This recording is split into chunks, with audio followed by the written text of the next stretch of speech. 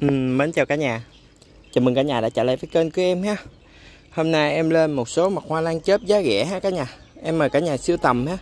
Cả nhà siêu tầm liên hệ em có số điện thoại là 0919 414 838 ha cả nhà. Rồi em bắt đầu lên mã số 1 Trời ơi, cái thước này nó mòn ông nội Rồi mã số 1 là bắt đầu là một chậu Susan ha cả nhà.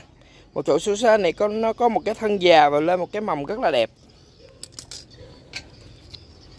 À, chậu Susan cái thân dài với cái mầm này em bán với giá là 190k và tiếp theo em lên mã số 2 mã số 2 là một chậu hàm hương á.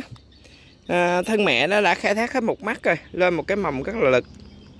Rễ nhú con rễ cũng đã đi nhiều rồi. Chậu hàm hương này em bán với giá là 290k và tiếp theo em lên mã số 3 mã số 3 là một chậu ghép bull nghịch.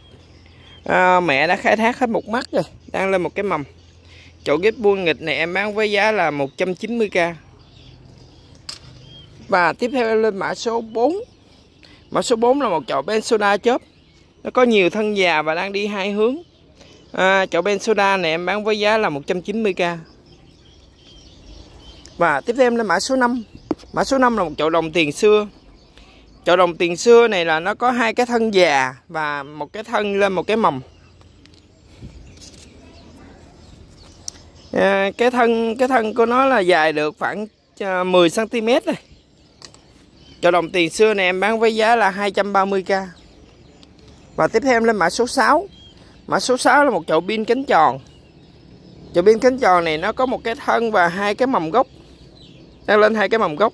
Cái thân nó có còn có một cái lá đang nhú cái vòi hoa. Chậu pin kính tròn này em bán với giá là 190k